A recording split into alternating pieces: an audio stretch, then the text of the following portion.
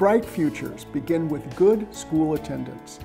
Too many absences, whether excused or unexcused, can keep students from succeeding in school.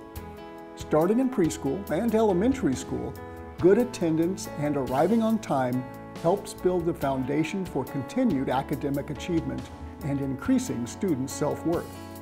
Missing just a day or two every few weeks can cause children to fall behind the rest of their class and make it harder to learn to read.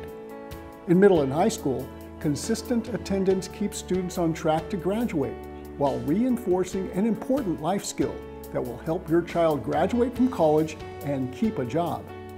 Parents, help your children attend school by setting a regular bedtime, maintaining daily routines to finish homework, and getting a good night's sleep.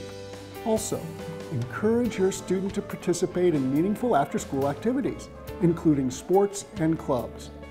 Going to school on time every day is important for students to succeed in school and in life.